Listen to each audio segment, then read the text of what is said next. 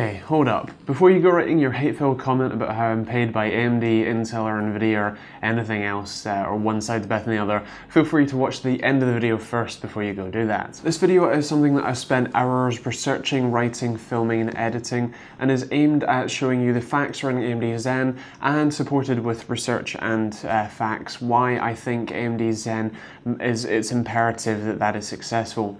If you want to look at any of my sources, I'll leave links to everything I've taken notes from in the description down below. Right, so let's get started. For those of you who've been living under a rock, AMD is a company that, as a simplification, makes CPUs, GPUs, and APUs.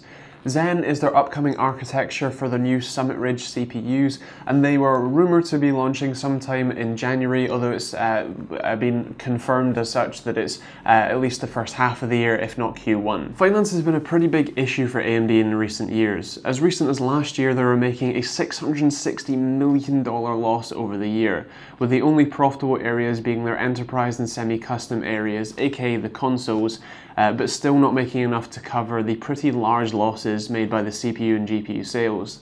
Compare that to Intel, who made 14 billion last year, and Nvidia, who made 614 million in profits. AMD aren't doing so well. Happily though, in quarter three of 2016, they did post a $27 million uh, profit, which is likely due to the uh, in increase in GPU sales. Speaking of GPU sales, their market share is also up in the GPU division, which is actually great news for everyone, and I'll explain why in a second. It's up from 18% last year to 30% in quarter three of 2016, dropping Nvidia's share to 70% from 82. In CPUs, AMD held just 12% market share of all x86 CPUs, where Intel held 87.7%. In Steam gamers, the trends don't quite line up with the market share figures. According to the Steam hardware survey, there are more than 3 GTX 1060s for every RX 480, and there are more than 10 GTX 1070s to an RX 482. For more info on this, I highly recommend AdoredTV's video on why the GPU war is over. He does a brilliant job of researching and explaining why AMD's revenues on the GPU front have always been low, despite often beating NVIDIA on price, performance, power, heat, and all that sort of stuff. So do go check that out. I'll leave a link in the description down below. At this point, you're probably wondering why you, with your Intel CPU and your NVIDIA GPU, should even care. But this is something that affects you too. Intel and Nvidia both need a competitor to be forced to innovate. We're seeing this already with their Broadwell E pricing, where their 10-core 6950X costing $1,700 on launch is a full $700 more than the last generation 8-core 5960X.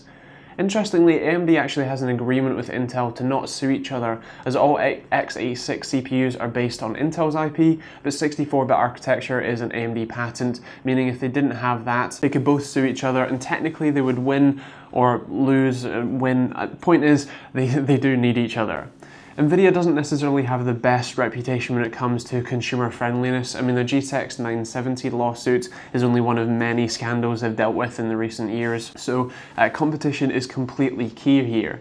One thing I would like to mention though is that as we saw in AdoredTV's video, and you, I should definitely check that out, competition doesn't necessarily always mean that you guys end up going and buying the best product. Uh, we saw that he heavily with the 260 versus I think it was the 4850 uh, GPUs where uh, even though the 4850 was a just a considerably better card uh, and perhaps 4870 as well, uh, there were considerably better cards, considerably smaller, considerably uh, you know better power usage and, and temperatures. Uh, the 260 and 280 still massively outsold the AMD cards, which is where uh, just because as as the marketing people like to say, Nvidia just has the mind share. They just have the impression that they are the better cards, even if they are actually performing less, especially performing less for the money. So uh, it's very important just to make sure you buy the best card out there rather than just the one that you uh, you know necessarily think is the best card without necessarily fully researching it.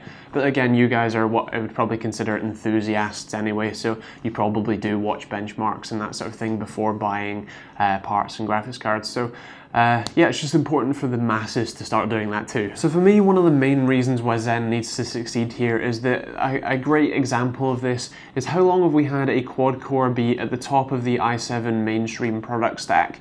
How long has since the 2700K or even the uh, uh, i7 950 been a quad core CPU that is the best you can get, and the main difference has just been slight instruction per clock improvements, generally like 10%, uh, maybe 15 at a push, uh, and general slight clock speed pushes. So for me, uh, and obviously, well, I can't actually legally tell you, uh, I can guarantee you that nothing's going to change in the very near future either for, from any you know uh, future launches that might happen.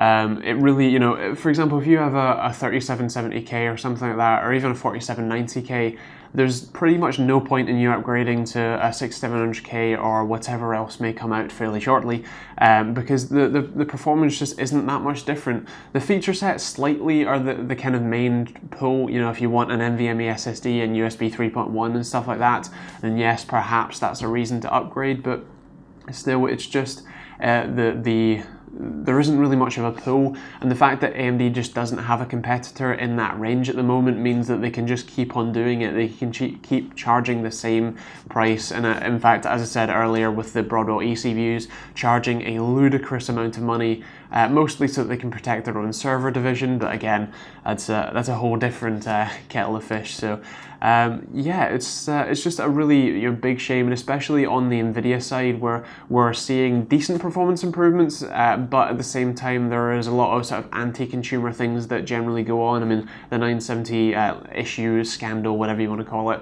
is certainly one of those things. So for me, uh, for AMD to succeed here, it means that a better world, better world for PC gaming for everyone, uh, not just AMD, Nvidia, and Intel customers necessarily, or you know, in any individual group, um, because it means that Intel will make better CPUs, which means AMD will make better CPUs, and then you'll have choice to pick which one is best for you. So. Uh, that's uh, that's my thing really. I think that's the, the main gist. Is if they don't have a competitor, they're just going to end up uh, doing what they're currently doing, which is not much. So this is the bit in the video where I get to talk about AMD's New Horizon event that happened yesterday. Now, in the event, basically they spent most of the time talking about their new name, uh, I guess the replacement for FX, which is Ryzen. Now this is uh, obviously, you know, uh, Horizon, ha and Zen, ha ha ha, but uh, basically it's a, a, pretty cool name. Obviously it's fairly memorable, um, if, uh, if nothing else, and obviously Zen is the uh, actual microarchitecture that makes up the Ryzen Ryzen chips. I believe Summit Ridge is the code name for the specific uh, kind of brand of high-end chips that they will be uh, offering, and they haven't given too many details away. The main details that they've talked about specifically are that it's an 18-core, 16-thread using simultaneous multi-threading. Uh, it's 3.4 gigahertz or higher has 20 megabytes of L3 plus L2 cache and also has uh, AMD Sense MI, which is basically uh, what seems like Intel's sort of CPU boost, uh, clock speed booster uh, on steroids. Um, they have a neural net predictor for uh, fetching uh, instructions as well as precision boost and pure power.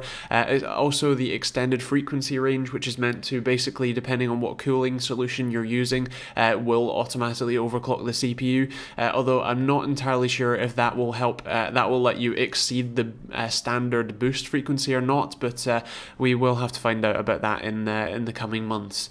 Anyway, this is their comparison between the the 6900K running at stock frequencies Still uh, boost allowed here, whereas the Zen or Ryzen CPU doesn't actually have uh, boost available on it, so at least in this demo. So uh, it is very impressive to see that uh, Ryzen is currently either equ equal to the 6900K or beating the 6900K in this handbrake demo. Although of course we will have to test this, uh, you know, firsthand to make sure that this isn't uh, some sort of trickery. But it seems like it's a, a very impressive chip, and I'm very pleased to see the performance outcomes that are are uh, currently available, and of course, we will need to see the pricing uh, as well as sort of what happens with the overall uh, market once Zen is released. But uh, yeah, overall, I'm quite optimistic. So that about wraps it up. Um, I wouldn't say that I'm an AMD nor Intel or Nvidia fanboy here. Uh, I've tried to limit bias as much as possible, and I've actually had you know bad uh, interactions and thoughts with them, uh, with all of them. So it's not really, you know, I, I, couldn't call myself a fan of any specific one here.